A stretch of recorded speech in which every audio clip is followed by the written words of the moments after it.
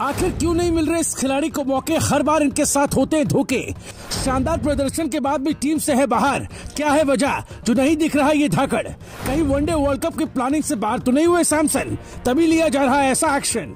चयन करता बाहर करने से नहीं आ रहे बाज स्टिंग ऑपरेशन में खुला इसका राज।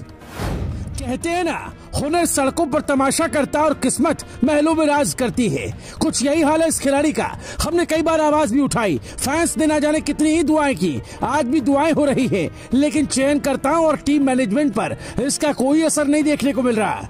जी हाँ हम बात कर रहे हैं संजू सैमसन की, जिन्हें एक बार फिर से नजरअंदाज कर दिया गया। अब तो ऐसा ही लगने लगा है, और ये सिलेक्टर्स का काफ़ी हद तक साफी संदेश है कि Samson one day world cup के प्लान में शामिल नहीं है। इस प्रतिभाशाली खिलाड़ी का दुर्भाग्य ही कहा जा सकता है कि इन्हें इनकी प्रतिभा का कोई मोल नहीं मिला ये सिर्फ़ इसी खिलाड़ी का दुर्भाग्य नहीं, टीम इंडिया को भी इसका खामियाजा भुगतना पड़ सकता है। भले ही आज नज़र नहीं आ रहा लेकिन आने वाले सालों में ज़रूर दिख सकता है। फैंस तो अब भी सोशल मीडिया पर संजू की लड़ाई लड़ रहे हैं। विकेट कीपर बल्लेबाज संजू सैमसन को एक बार फिर से सिलेक्टर्स ने नजरअंदाज करते हुए ऑस्ट्रेलिया के खिलाफ सत्रह मार्च से शुरू होने वाली तीन मैचों की वनडे सीरीज़ के लिए मौका नहीं दिया। संजू सैमसन को ऐसे समय में भी नहीं चुना गया जब ऋषभ पंत एक्सीडेंट के चलते लंबे समय तक टीम इंडिया से बाहर रहेंगे और टीम मैनेजमेंट के पास बेहतरीन विकेटकीपर बल्लेबाजों के ऑप्शन तक नहीं दिखाई दे रहे। टीम इंडिया से हर बार विकेटकीपर बल्लेबाज संजू सैमसन को बाहर होना पड़ता है। संजू सैमसन ने पिछले लगभग आठ साल में भारत के लिए अभी तक सिर्फ़ अट्ठाईस इंटरनेशनल मैच ही खेले। उन्हें अक्सर भारतीय टीम से अंदर बाहर होना पड़ता है। संजू सैमसन के साथ ही हर बार टीम इंडिया में नाइंसाफी क्यों होती है? आज हम इसके पीछे की एक बड़ी वजह आपको बताने जा रहे हैं। टीम इंडिया में इन दिनों विकेट कीपर बल्लेबाज ईशान किशन को मौके दिए जा रहे हैं, लेकिन वो इन सभी मौकों पर खड़े नहीं उतर सके। ईशान किशन के वनडे में दोहरा शतक को छोड़ दे तो उन्होंने टीम इंडिया के लिए पिछले दस पारियों में एक भी अर्धशतक नहीं लगाया।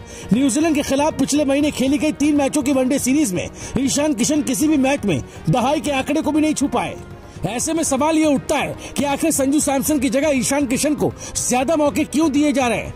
इसका जवाब एक तरह से बीसीसीआई के पूर्व चीफ सेलेक्टर चेतन शर्मा ने स्टिंग ऑपरेशन के दौरान कहा था। संजू सैमसन अच्छा प्रदर्शन कर रहा है। अगर हम संजू सैमसन को टीम में सेलेक्ट नहीं करते तो ट्विटर पर हमें लोग उड़ा देते वही टीम इंडिया के पूर्व कोच रवि शास्त्री ने कहा था, संजू सैमसन जैसे खिलाड़ी को कम से कम दस मैच हर हाल में देना चाहिए। इतना सब होने के बावजूद ये तो पता चल ही गया कि दबाव में ही चयन करता संजू को टीम में शामिल करते उन्हें टीम के फ़ायदे नुकसान से कोई लेना देना नहीं।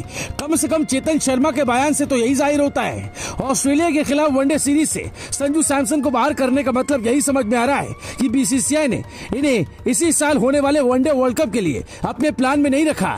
संजू ने पिछले साल, यानी 2022 में कुल 10 वनडे खेले, जिसमें इकहत्तर के औसत से दो सौ चौरासी रन बनाए हैं। उनका स्ट्राइक रेट भी सौ के करीब रहा है।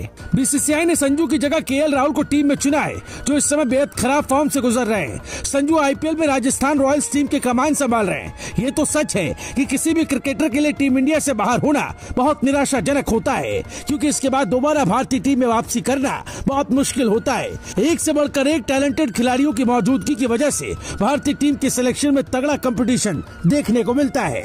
Bureau report, Bharat positive.